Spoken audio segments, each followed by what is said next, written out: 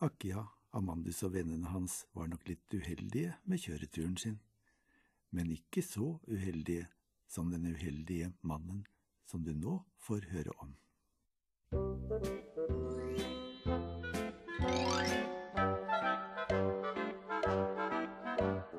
Dette er en vise om en stakkars mann som var så uheldig som det kan gå an. Syns du denne visa kanskje er litt trist, kan du trøste deg med det at alt blir bra til sist. Det var en fredag morgen han skulle gå av sted. Men da han kom i trappen, så snublet han og gled. Han rullet og han rullet, en stakkars, stakkars mann. Og han fikk hull i hodet sitt og brakk en hjørnetann. Så kom han ut på gaten og vandret glad av sted. Men oppå taket lå det en veldig haug med sne.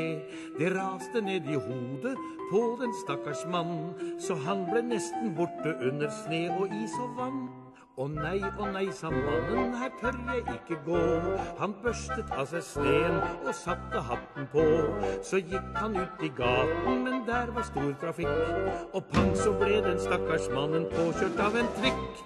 Og gid, sa de som så på, nå slo han seg visst veldig. Men heldigvis for mannen, så gikk det nokså heldig. Han reiste seg fortumlet og børstet sine klær. Han hadde bare fått en to-tre skrammer hist og her. Da kom en mann med bil, og han ropte slo de dem.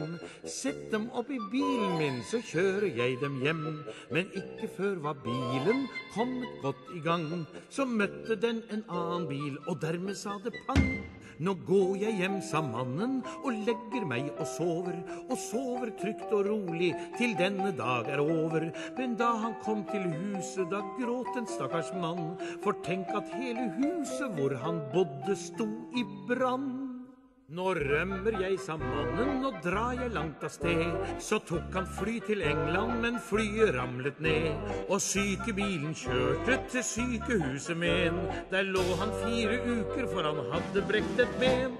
Der var en sykesøster, hun var så snill og grei. Så fridde han og sa, vil du gifte deg med meg? Og heldigvis for mannen så svarte søster ja. Og nå er mannen gift og har det veldig, veldig bra.